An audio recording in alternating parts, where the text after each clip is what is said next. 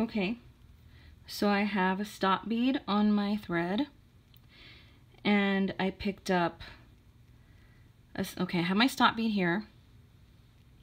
I picked up a 15-0 and then I went in through a hole of my ring.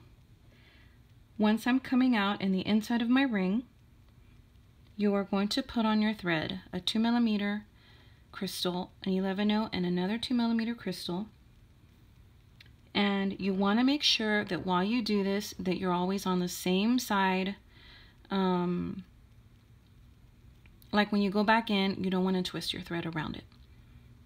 So here I am. Here I am. See that hole where I'm coming out of? The one next to it we're going to skip and we're going to go into the next one so that's how you're going to do this all the way around. When you're coming out in the inside and you go back up, you're going to skip the hole right next to it and then go and go into the one after that. Once you're coming out of your ring, pick up another 15 let it drop, and then you're going to go in through that same hole just skip the 15-0. If you're going through the 15-0, it's not going to work. Skip the 15-0, and I almost went through it. Skip your 15-0. I usually, when I work, I'm used to having my piece right up close to me, so it's a little bit harder for me like this. Let me brighten this up a little bit. Okay. Here's my 15-0. I'm going to just move, move it out of the way and go down through that same hole. You also need to catch your crystal and not get tangled anywhere on your table. And then if you have to, give it a little pull and my thread bead, my thread need, my thread, my tail thread got caught in there. I can't talk today. All right. There we go. There we go. There we go. Coming out of there, 11 0, 2 millimeter. Skipping the next hole, go into the next one after that. Then 15 Let it drop. And then kind of like move it out of the way. Go back down the same hole and out through your crystal, just like that. So do this all the way around and when you get close to the end, I will meet you. All right, I will be back. Okay, so I'm at I'm at my last little opening here and I'm coming out of my crystal. And the space is too small for another crystal so I'm only going to add an 11 and then just like before I'm going to oh wait. I'm going to um well not like before. I'm gonna pick up my 11 and then I'm going to connect to the first um crystal that we started with. And then I'm going to go up that hole there. And I am not going to tie um I'm not going to go, go through that 15 after it. Okay? I just went through the hole. And then you as you can see here's my little stop bead. And I'm actually going to remove that. And well I'm going to remove my little 15 for now. And then I'm going to tie a knot. Because later on it's going to be harder to meet up with this thread and tie a knot. So I'm actually going to do it right now okay and then I'll just put my 15 back Whoops. Get my 15 and I'll just put it back and go down that same hole. Oops. And I need to move my knot out of the way. I'm going to go down that same hole and come out of this crystal. And then I'm just going to follow a thread path.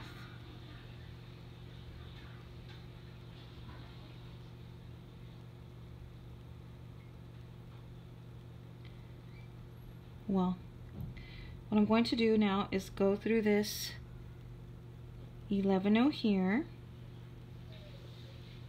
Ooh. And then from here, I am going to start adding 15 O's all around. And it's pretty simple. From one 11 O to the next, adding a 15 O. So add your 15 O's all the way around. Now, when you come to the end, you might have a little bit more room. And if you need, use your judgment. If you need to put more than one 15 O at the very end, I think I did that here. Mm, I know I did it with one. Um, but use your own judgment. If you need, if you have too much space when you get to the very end, um, then add two. It, eh, but if it looks fine, then just add one in that space. So, getting my thread tangled up everywhere today. All right, so all I'm doing is connecting these 11 O's by putting one 15 O in between them.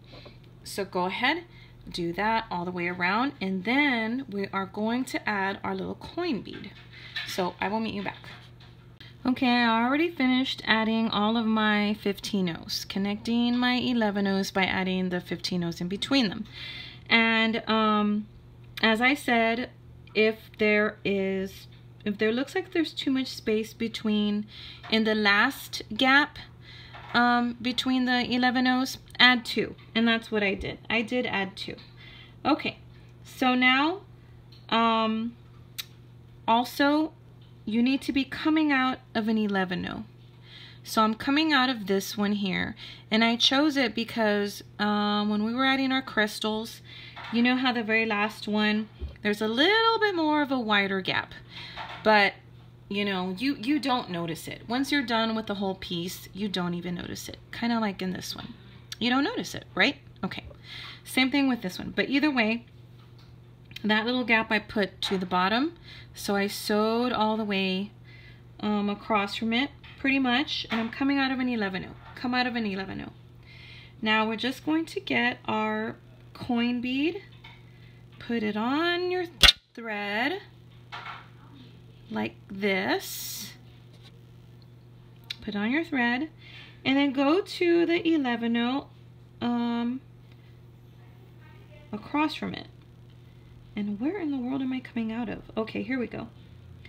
And so that 11 0 will be this one. So I just want to come out of it. And looks like my needle wants to come out through the back. That's fine. Okay. So just get your coin bead situated. Now, I'm coming out of my coin bead, coming out of it, go back up, I mean, coming out of my 11, I'll go back up the coin bead, and then go through that same 11 that you started in the opposite direction. And go ahead and go through everything one more time so that you can get your coin bead there. Um, you don't want just one thread. You just, you know, you want to make sure that it's secure. So I'm just going through everything one more time. And okay, just making sure I'm coming out of that 11 Yes, I am. Going back up the coin bead. And these are really pretty beads. I really like these. And um, now I want to make sure that I go in through my 11 the correct way. All right, so once you do that, just go through as many beads as you need to. And um, get, as long as you're coming out of an 11 that way you can go from your 11 up the crystal and up the hole. Now here I'm going to connect all of those 15 O's together by adding a three millimeter bead in between them. And I'm going to use this pack and this came in one of my Potomac boxes. And another reason I love those boxes because you get so much stuff. Okay, so, and I love having all this extra stuff for my stash. So I'm gonna just drop all of these, hopefully not into the floor. And then this is an easy part because we're just going to go from 15 from, from 15 to 15 Okay, so go through your 15 From 15 to 15 adding a, a 3 millimeter bead in between each one. So that's what we're doing. Coming out of my 15 picking up another 3 millimeter bead, and going through my next 15 in line. So do this all the way around, adding all of them, okay? And then I will meet you back. Okay, now let's get ready for another easy step. I've already added all of my three millimeter beads and I'm coming out of a three millimeter bead. that sounded weird. And I'm just going to cut this okay? Now I'm coming out of a three millimeter bead. From here, we're going to add 15 O's again, connecting each um, three millimeter bead with one in the middle. So here I am, gonna go to my next one,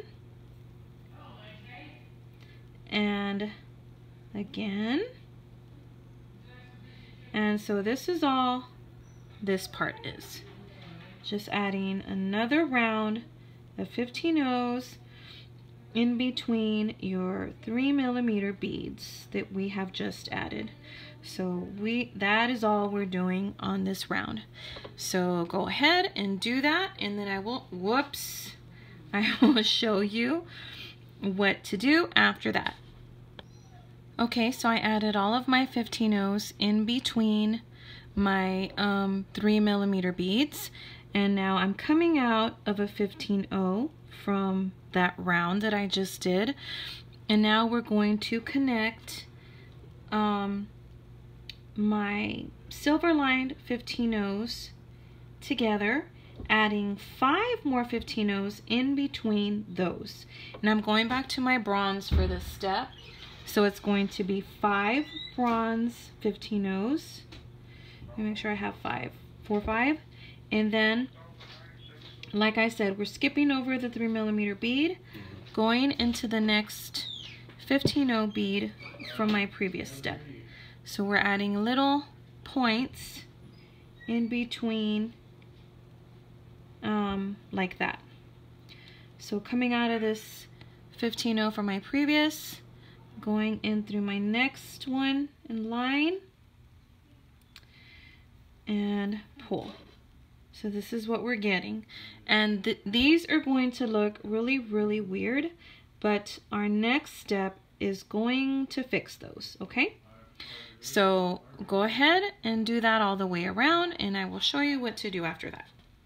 Okay, I went ahead and I did a few of these because um, I just wanted to make sure that I got my design right. But okay, after you add your five 15 O's, um, connecting these 15 O's that are in between the three millimeters together, and you've just added these on the side, go ahead and go through um, two, because you've already gone in through your last uh, 15 here, right? Because you've, add, you've added your last grouping. So you're in this 15 go up two, and I'm going to go ahead and do it also. Go up two, skip this one, the middle one, and then go down two. And uh, what we're going to do is we're going to make that middle bead stick up into a point. Okay, so go ahead and do that. Do that. And, uh, okay, and um, just pull tight, pull tight, and that will make the middle bead pop out.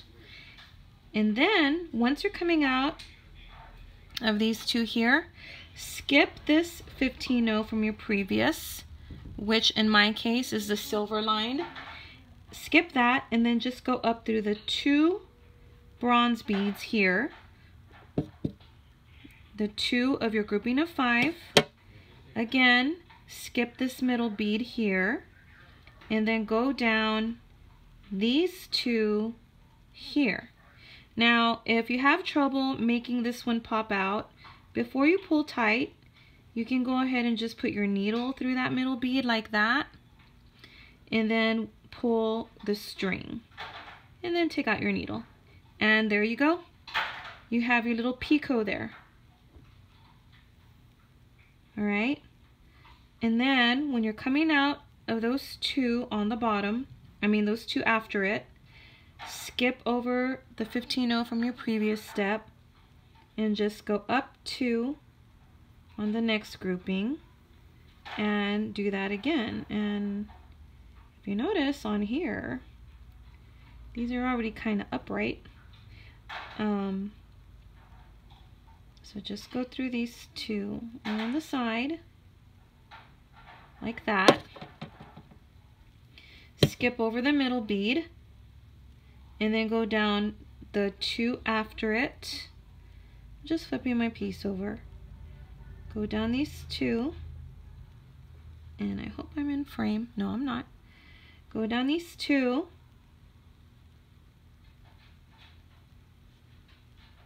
And I'm just going to pull my string. And there we go my point. So I'm just going to continue doing that all the way around. And then after that, we will add our wire guard. Okay, so I already did all my little points here. And what I'm doing now is I just sewed through to till I got to the middle point here and I'm coming out of the very top bead. And this is where I'm going to add, I would have added a wire guard, but I seem to be out, but that's okay. I can just do a little bail with my 15 beads. Um, I'm choosing to hang mine this way, but you don't have to. It's a dragonfly. So you can do it like that with your little bail coming out of here or here or even down that way. Um, I'm just going to do mine like this. So I'm just going to add some 15 beads until I think I have enough to make a decent sized loop. And I'm not counting them, I'm just adding them. And like I said, I'm coming out of this little point here. I'm just going to go back and mm, that may be a little bit too big. So I'm just going to back out and maybe remove about, oh, I don't know, maybe three. Maybe three of them. I don't want it too big. Okay, so going back,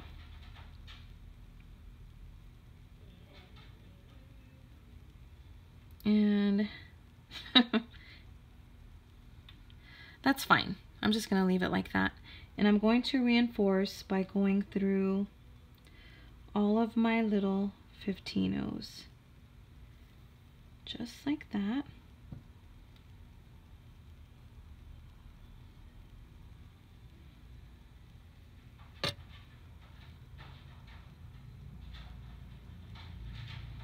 And since I went through my 15 O's on the other side of that bead, I will go ahead and go through everything here one more time.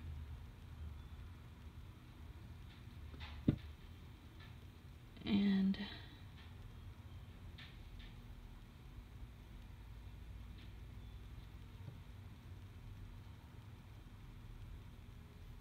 just like that. And now from here, I'm just going to go through this 15-0 in the middle again. And then I'm just going to go down. Oh, wow, that's kind of tight. And I still made it through, didn't break. And then I'm just going to go down here.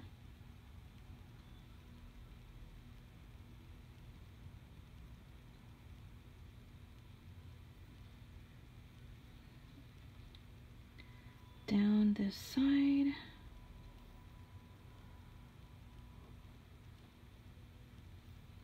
Everything is getting kind of snug, but that's fine. You should still be able to go down through that.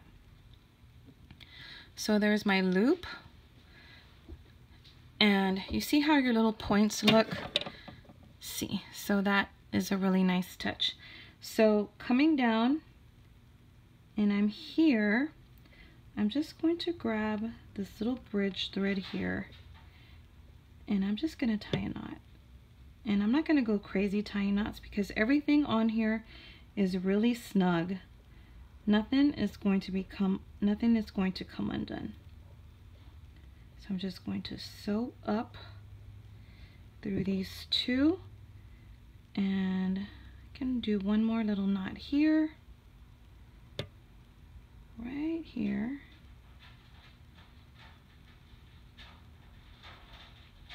Well, maybe I shouldn't have done that. May, kind of messed up my point a little bit, but that's fine. And then I'm just going to go down these two. Oh, my point is fine. And I am going to burn my thread because I am done. And this is what you should have. And all I'm going to do is I have my leather ready. So it's going to look like this. Of course, I'm going to add a jump ring there. So, but something like that. So this is what we got. This is our little dragonfly coin pendant. And it really doesn't have a front or a back. I mean, I'm sorry, it really doesn't have a back because both sides look the same. So if it flips, you know, that that's no problem. It looks nice on both sides. So this is what you should have. You should have something similar to this. This is another one that I made. Um, so pretty simple project. Really easy, really pretty, beautiful, beautiful outcome. Um, I hope you enjoyed making this and thank you very much for watching.